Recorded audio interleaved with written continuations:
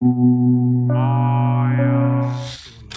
as you see, we got a nice unboxing, nice PS5 cooling fan. You feel me? Got the blue LED, straight from Amazon. As you can see, Super Wind LED light. Show you the back. Come easy installation, horizontal use, one key power. Let's get this, let's get this bad cracked open.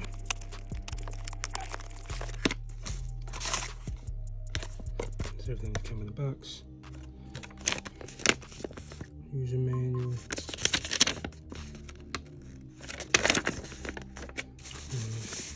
It should be pretty self-explanatory. Bam, as you guys can see. Clear fans where it plugs in. Flip it over. And it should be the power button. And gives you an additional USB slot, so you know you don't lose the spot. So I'm gonna grab the PlayStation, plug it on in, and see how it works. Install it pretty easy. You wanna plug it into this USB slot in the back, you know the blue one. Plug it in there first. Boom, and then as for these little tabs, you just wanna push these back some and slide it on in. Boom So it fits on there.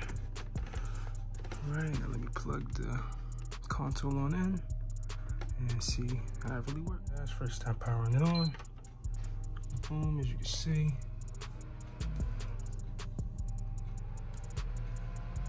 Fans are running, as you can kind of hear.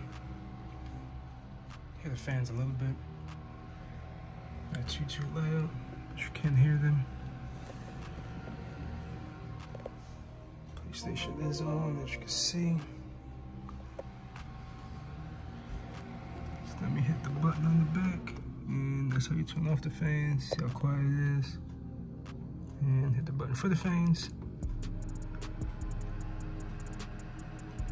So, you know, it gives your PlayStation a little bit more, you know, obviously air, breathability, and it's cool LEDs in the back. So, yeah, guys, that's pretty much it. Um, I got this because my PlayStation was uh, overheating and randomly turning off with you know, no warning, just being in the middle of a game. TV just go dark, black screen. So I did take the PS5 apart and, you know, cleaned out the fans, cleaned off the heat sink, compressed air, and a nice little brush. But yeah, guys, hopefully this should uh, also fix the overheating problem. So keep you guys updated in the comments. But yeah, it's pretty easy installation.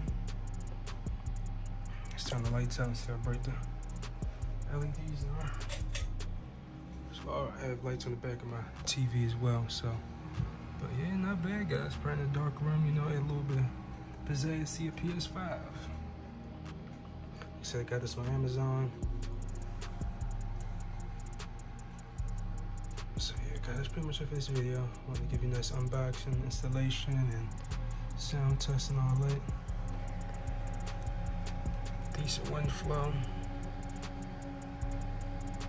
So yeah guys, until next time. Quick update, uh, I just moved it over to the other slot because you know, if you have an um, extended hard drive like me, you know, this needs to have the strong um, blue USB uh, connection. So that's still plugged in and I just moved it over some. So you just, you know, put the prongs in first, push it all the way down, and then it'll be able to fit into the first slot. So that's just a little update.